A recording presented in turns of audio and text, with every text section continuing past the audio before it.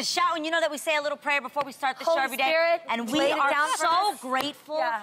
And, and we just had a moment, so yeah. Yeah. Aw, we love each we're other just so very much, and we're grateful. grateful. Yeah. We're so grateful for this platform. We're grateful for all of you here in the audience. We're grateful for you watching at home.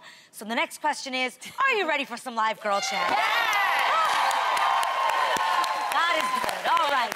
Don't forget to head on over to the Real's Daytime Instagram page and use the hashtag GirlChatLive to join in on the conversation. To be watching what all of you have to say and include you in the conversation. Now, if you watched the show yesterday, you saw us give $1,000 to a lucky real Yes, fan in did. Miami Yes. who hurried over to our hunk, hurried over to the hunk, Marcel. and uh, look what I have here, you guys. What is What? it? What? What you got? I got $11,000. Thank you very much.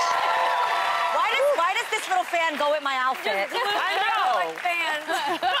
All right, but guess what? This is not for me, you guys. This is to give away to another lucky viewer. That's right. It's the return of the Reels Dollar Holla Back.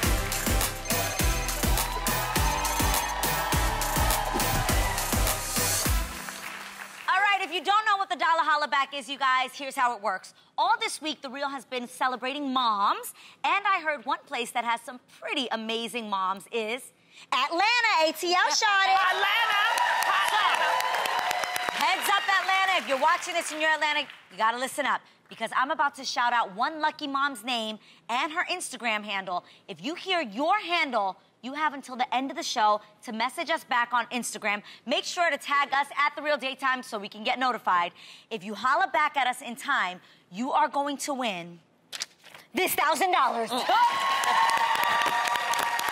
you ready? Who is it?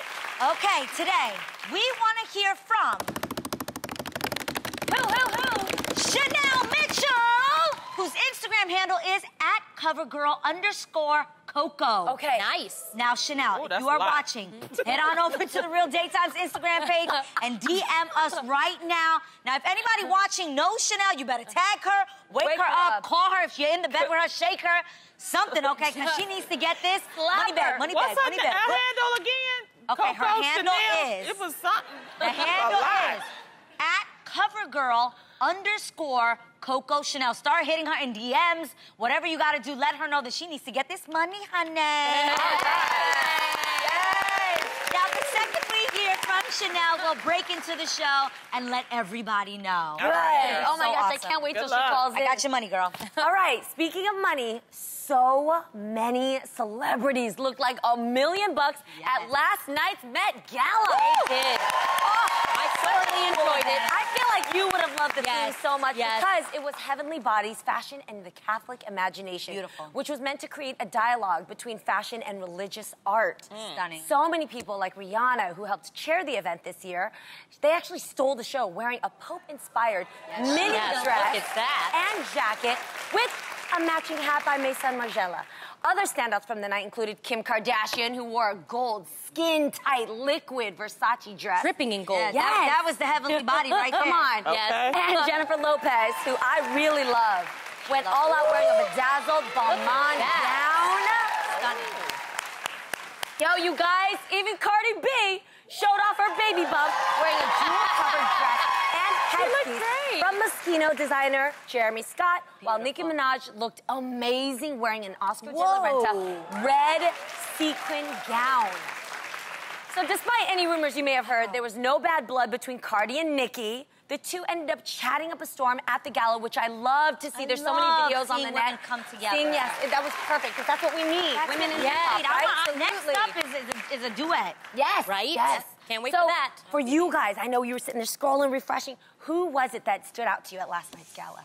Oh my gosh, there were so many. Yes. Um, I loved Blake Lively. Yes. She looked absolutely She gorgeous. Did you hear so I love her behind her headpiece. dress? Yes. I heard that it took like 600 hours to make it. Yes. And she on over 17 yes, look at that. times. Yeah. And Yeah. her dress was so large, you guys, that she had to show up in a party bus. Yes. Yeah. So her dress even had its own ride. Because you can't have a wrinkle. You can't have. I No. mean, this is the Super. Bowl of fashion. You got to come Beautiful. pressed in dress. and she, She killed it. Stunning. Yes. Zendaya. Oh, Zendaya, I Come thought on. her take on Joan of Arc Yes. was so modern, so chic, and uh, it was different. And I love that she always comes through doing something different. Love, love, love Zendaya. Give it up to Look at her. Law. Yeah. And she Yeah, stayed in Luxury Law character. kills it all the He time. actually She stayed in character the Yes, whole yes. night. It was awesome. He said, and you know, when a stylist builds a bond with their muse, I like I love seeing that that symphony that begins to happen. And he said that she loves drama, so he wanted to get the most dramatic type of piece for her. So he asked Versace to give him sketches of things that were very Joan of Arc-esque. They Mm-hmm. sent dozens of sketches in. They picked it down to two. She decided on that last night, which I just love that flurry of like going to bed wondering which one you're going to wear. Right. And um, Wow.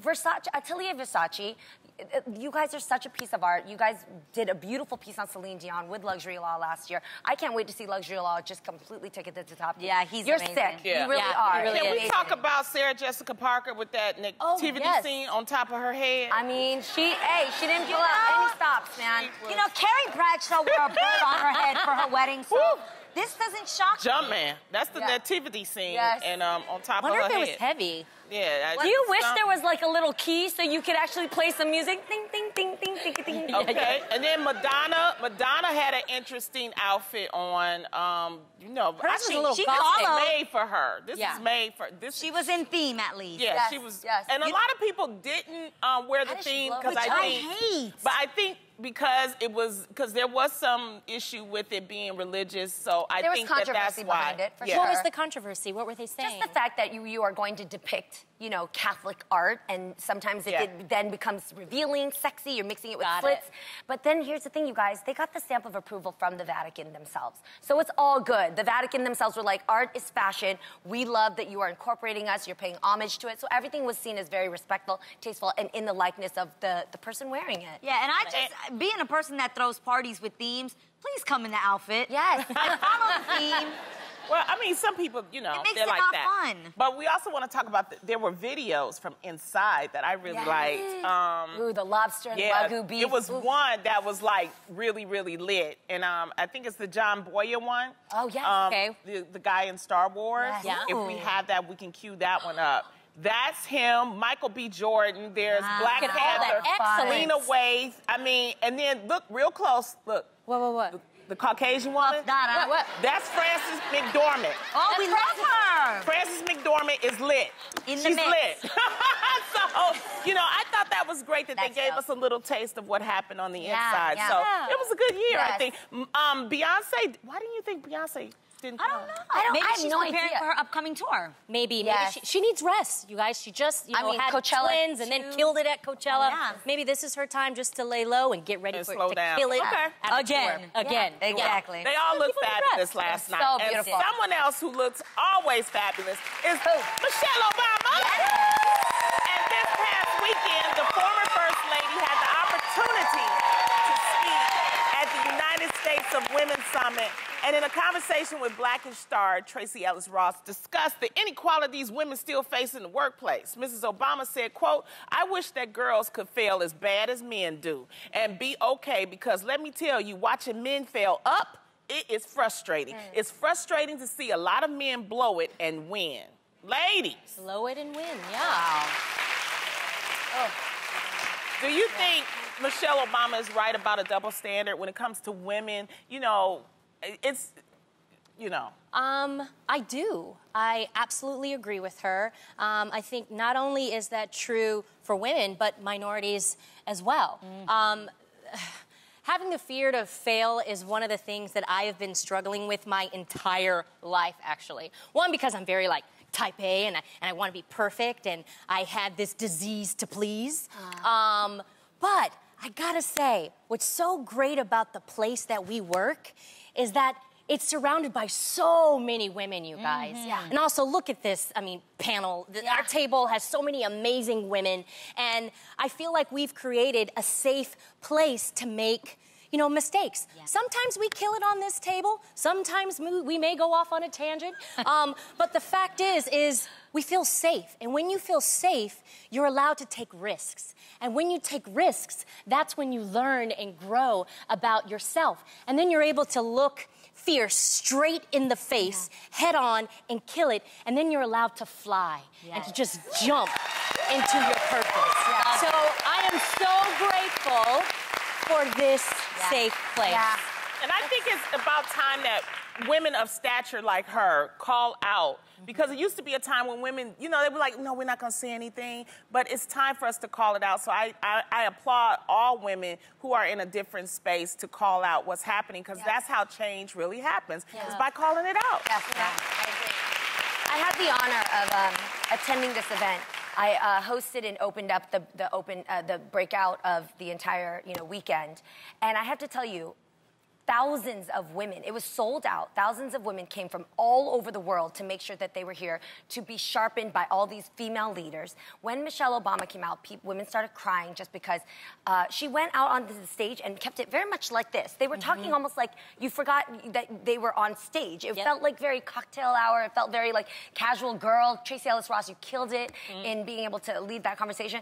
But when she said that, it made me immediately think about all the female leaders that I love that's that, that either wrote a book or stepped out on telling us about their leadership. And I realized that a lot of female leaders get typecasted about the type of leader they are. Mm-hmm. If they're bossy, they're a bitch. Mm-hmm. If they're um, if they're mean all the time, then oh, she's always PMSing. Mm-hmm. You know, even Sheryl Sandberg, the CEO, COO of Facebook, wrote a book called Lean In, just to be more compassionate, to sit and, and actually pay more attention to your employees. And she got backlash for leaning in, and people started writing blogs about leaning out, be more assertive, be more boss. Like, you can't do anything right. At the end of the day, out of 500 US top ranked Fortune 500 companies, mm-hmm. guess how many female CEOs there are?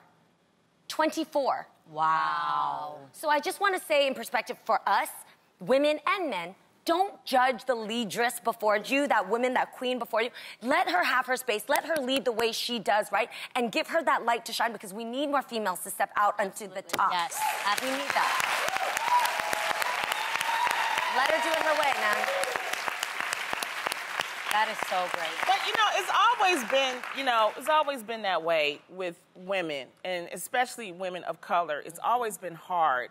And I think that, like I said, what you're saying, you know, I just try to take people and I try to use examples. Like when I worked at Xerox, um, we had our first CEO. Her name was Ursula Burns, and she, I believe she's still the CEO there. She worked so hard, but she worked from like like a, a beginning engineer and mm. worked her way up. So it is possible. There are examples. We just have to keep pushing Yes. and we have to call it out. And that's why it's good to do this. Yes. So- Yes. Keep Yes, giving us that's the great. chance Yes. to be great. Yes. Yep. Well, from the naked truth to just being naked.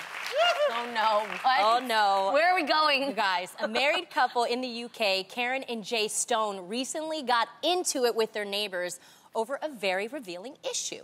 The couple had a handwritten note slid under their door that said, quote, would you please close your blinds when getting dressed or undressing? We are sick of seeing your big bum, big boobs, and little Willie. Oh, oh, Lord. Yeah, Oh, you went below the belt on Yes. that one. And we will report you both for indecent exposure. Signed, your neighbors. Well, the offended couple decided to respond to that note with a note of their own that said, quote, stop looking through our windows, you peeping Tom. Yes. Signed, your neighbors. Yes. So, ladies, who do you think is in the right here? Are you kidding me? It, if it's my house and I'm paying my rent, paying for my window, and showing off my body, you gotta close your eyes and buy some curtains. But why don't they have curtains? Yeah. No, I'm saying like we Why don't the- obviously we've discussed that we don't mind walking around naked. Yes. Totally fine. But I'm gonna close the curtains, no? I think you should be aware of what's going on. You know, I mean, even if you have a house and you Yes, walk and you around have and it's your windows. house, Yeah, just, just- kind of be aware because kids could the be curtain. outside looking and all that. Well, the kind kids of need to know where they you know? came from, so. Oh my God, keep in mind.